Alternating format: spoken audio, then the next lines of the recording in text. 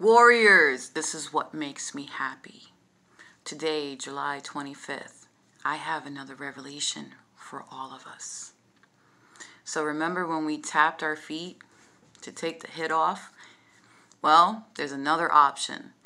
All you got to do, let's say you get target in the arm, you pound it out. Just like if you were getting a massage. You get target in the ear, when I was a little girl, I would get earaches. The doctor told me this. She was like, oh, just tap your ear and get the air out.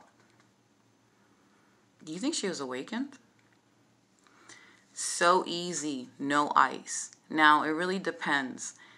If you've been targeted in that area for a long time, you're going to need to heal with ice.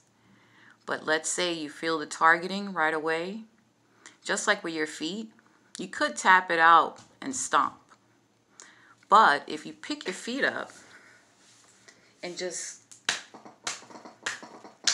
tap it away, it goes quickly. I think like at least 10 taps